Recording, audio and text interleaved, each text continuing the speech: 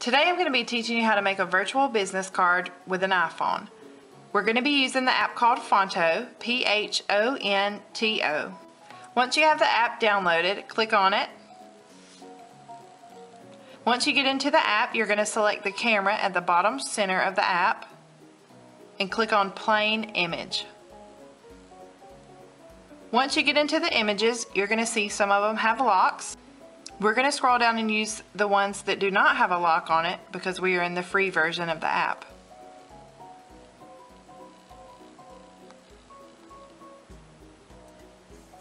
Once you have your image selected, if you'll go to the very top of the image, in the center you'll see it says 2048 by 2048. If you'll select that, and then you want to click on 960 by 640.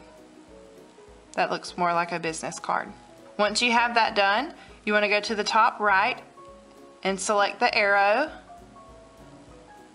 and you want to click on use and save. Once you've done that, you can add an image to your card. So if you'll click on the three lines at the bottom left and then select add image and then pick the image that you want to use for your business card.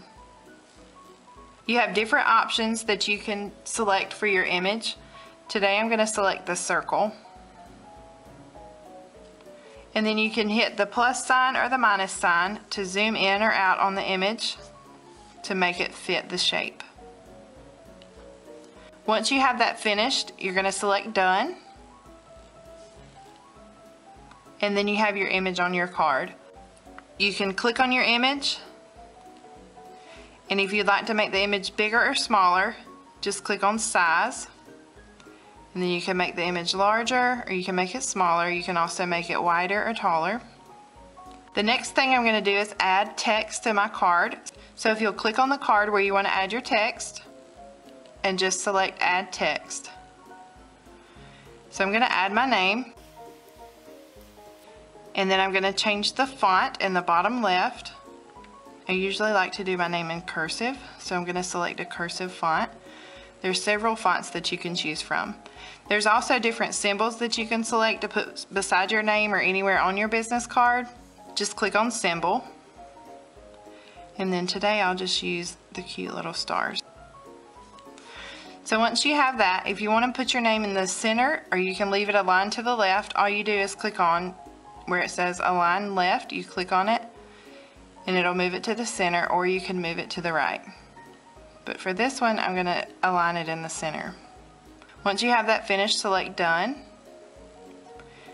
And then you have your name on your card. You just simply click on your name to move it anywhere you want it on the card.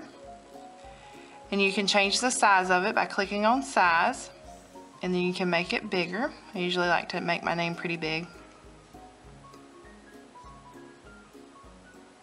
Once you want to add more text to your card, just select anywhere on the card where you want to add the text and then click on to add text. And for this one, I'll put the number. And then select done. I usually like to change the font for the number and the name, but you don't have to. It's however you want to create your own card. And then select done. And then you can move the text around with your finger wherever you want to move it and you can change the size of it also. So I'm going to teach you how to go in and change the color of your text. Whatever piece of text that you want to change the color of, just select it and then click on Style.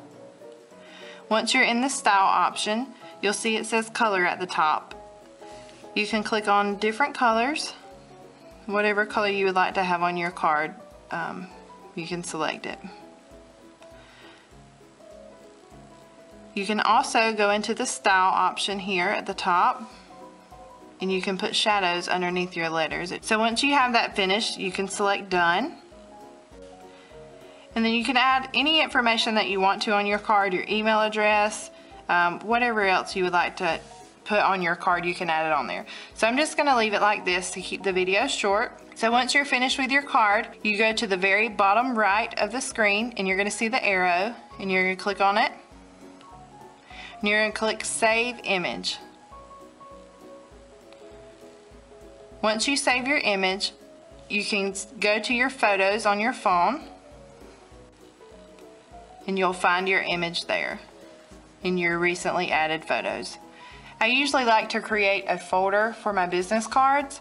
That way when I'm out somewhere, it's just easier to go to my business card album to find my business card rather than having to go through all my pictures and trying to find it in there.